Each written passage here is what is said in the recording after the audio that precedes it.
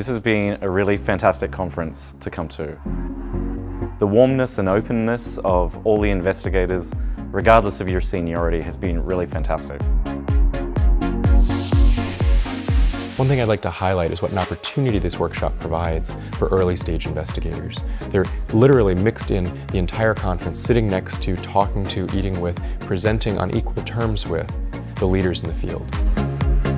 The format of this workshop is 30 participants, 20 of whom are established scientists and 10 of whom are early career researchers, all coming together to discuss their latest unpublished work and brainstorm about the big problems and challenges in the field. I love the format of these workshops because it gives a cool opportunity to senior scientists and early career scientists seeing that there are other people here who are kind of going through the same challenges, but then also having the more senior PIs, getting to know these scientists as people as well as leaders in the field, I think is really important for somebody at this earlier stage.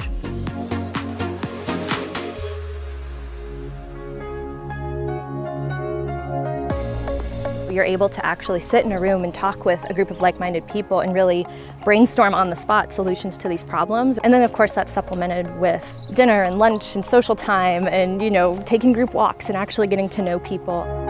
Everyone is presenting, everyone is engaged, and everyone is literally sitting at the same table, front and center, looking at all the science and discussing it together in a very informal and yet exciting and rigorous environment. The support from the company of biologists was probably the best support I've gotten. And so that kind of personal touch, I guess, that the company of biologists put on this workshop made this experience probably one of the best scientific experiences that I've had to date. Hands down, this has been the most unique and rewarding experience uh, that I've had so far. If anyone has the chance of coming to one of these workshops, I'd say grasp it. I would say apply. It could transform your career.